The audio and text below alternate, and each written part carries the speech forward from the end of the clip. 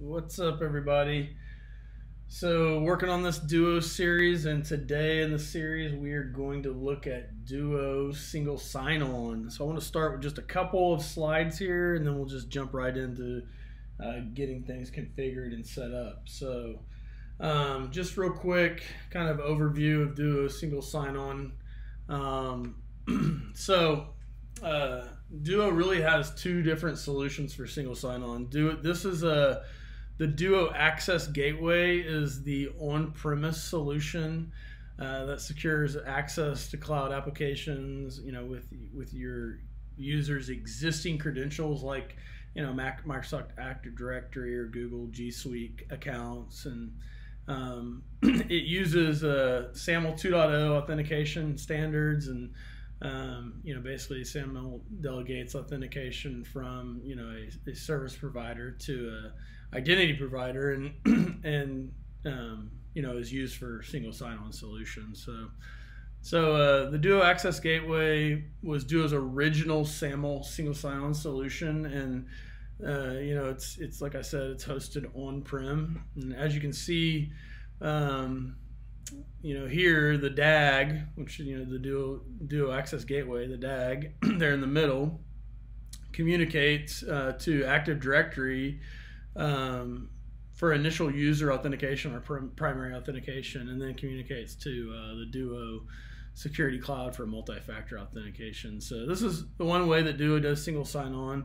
Um, you know, the Duo Access Gateway runs um, as a uh, uh, IIS virtual site um, on a Windows Server 2012 or later server, or um, in a Docker container uh, on most uh, modern Linux distributions. So you can run it on Windows or uh, Linux. now, alternatively, Duo you know just recently released a single sign-on uh, solution that's cloud hosted. So you know, hosted SAML 2.0 identity provider or IDP that secures uh, access to cloud applications with your users' existing uh, directory accounts like Active Directory, uh, like we just just like we just talked about.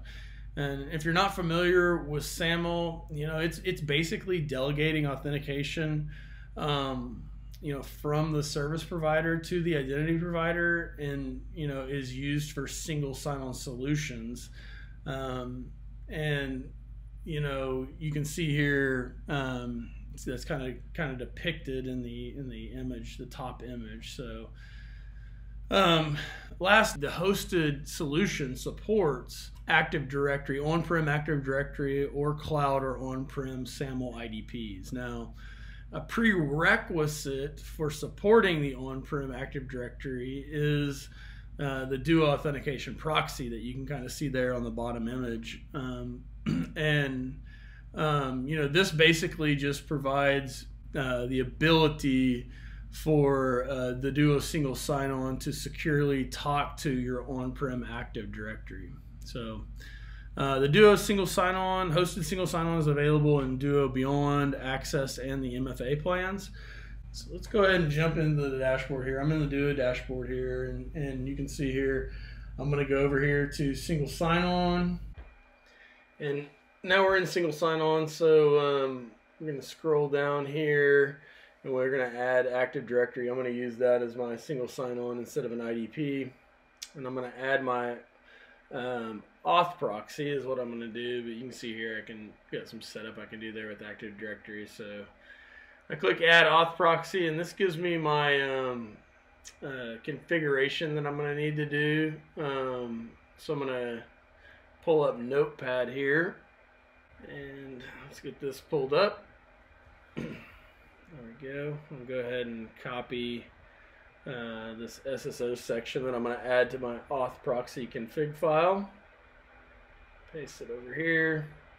Create a little section here, and I'll for my um, for the uh, script that I need to run um, to uh, connect to the SSO service and restart uh, the auth proxy. So pasted that in.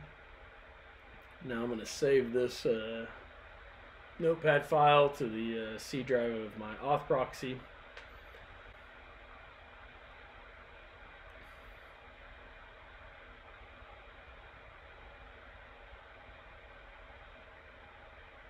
Give it a, you know, a name here, duo SSO. Hit save. And uh, now I'm over here on my auth proxy. Pull up the uh, SSO file. So you need a uh, a service account and password here. You can see. So um, I'm gonna copy this first though. I'm gonna put it into uh, browse over to my auth proxy config file. So you can see the file path here: program files, Duo security authentication proxy, and then the conf folder. There we go. So I open up the auth proxy file. So I'm going to paste in this SSO section here. So you can see there in the brackets SSO. And I'm going to put my uh, my service account that um, I created in Active Directory. I'll put the uh, username and the password. Cover it up here so that uh, keep that a secret. Also covering up the uh, security key up there in my cloud section. And uh, you can see I've got the, uh, once you put the password in, you can see there in my AD client section, it actually encrypts that password for you. Um, but uh, right now I'm typing it in, I'll cover that up. Hit save, close and save.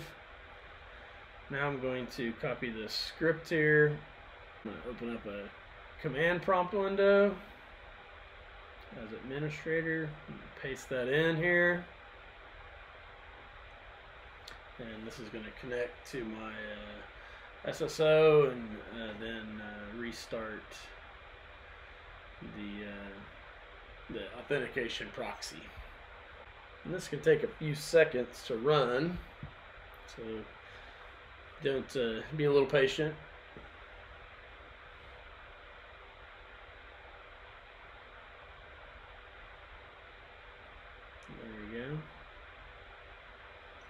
Our security secret was stored successfully. And now it is uh, stopping the service. Now it's going to restart it.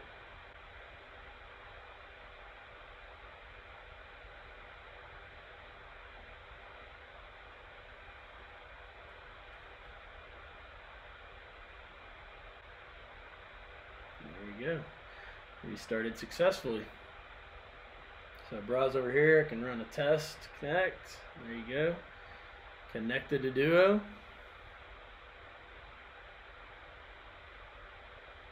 And I can uh, return up to my config.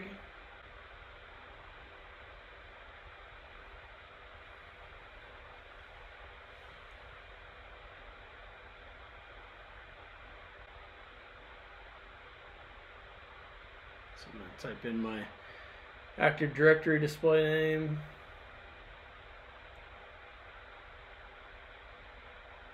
Give it the uh, IP, uh, IP address of my domain controller.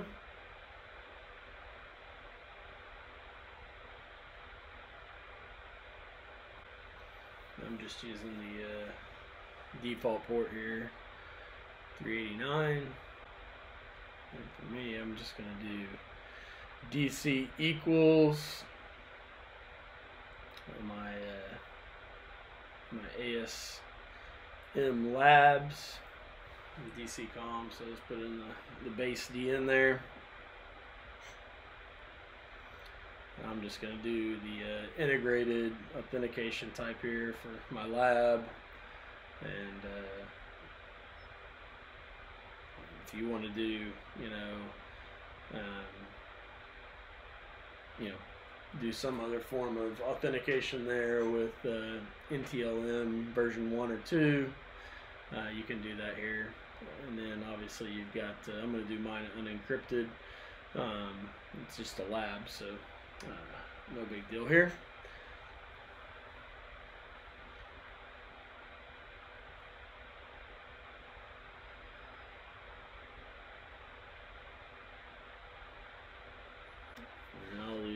The email attribute as is. Um, if you wanted to, uh, you know, put in a different email address alias or something like that, you could do that here, but I'm going to leave mine as is.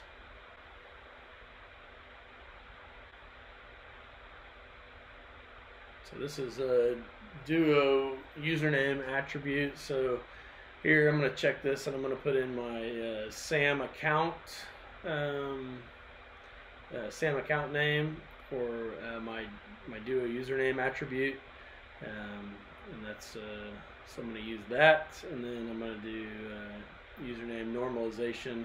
I'm just going to do simple, so it'll get you know domain slash and or username at the domain or just the username. Um, so I'll leave that as is there. And then uh, you can put permitted email domains. Um, I'm not going to permit any other email email domains other than, um, you know, my domain that I use.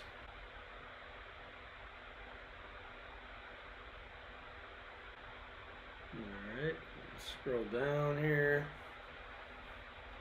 I've uh, put in my, let's see, my uh, DNS entry, uh, text DNS record for my DNS provider. I use um, GoDaddy for this uh, lab uh, domain, uh, asmlabs.com. So I'm going to go uh, copy this and make this entry in uh, GoDaddy's DNS that hosts my DNS. So I'm going to do that real quick. I'll pause the video and come back when I'm done.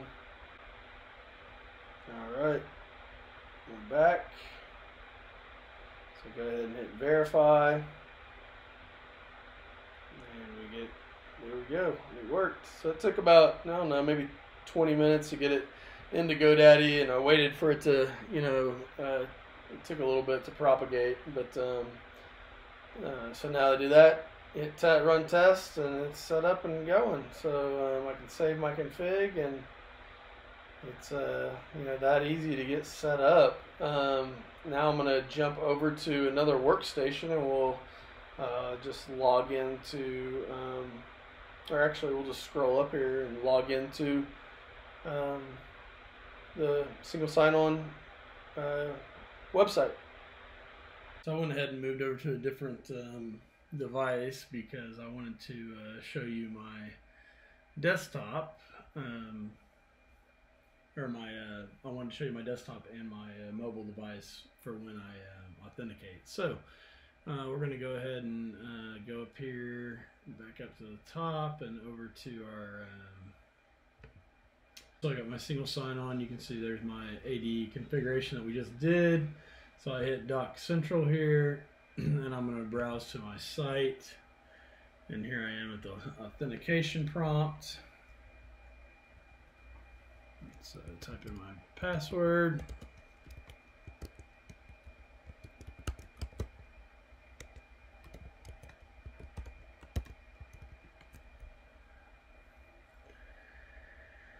And there we are, two-factor authentication. So send a push.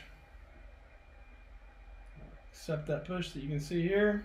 Do my bio. And there it is. I'm at the site now. So um, that's it for this video. Um, we've got the uh, single sign-on site set up and um, we're now going to start adding a couple of applications. We're going to work on adding Umbrella and uh, Meraki and I'll check you guys out in the next video. Um, but uh, for now, please like and subscribe and then look for these uh, Umbrella and Meraki uh, single sign-on configuration videos coming out soon. Appreciate it. Talk to you later. Bye.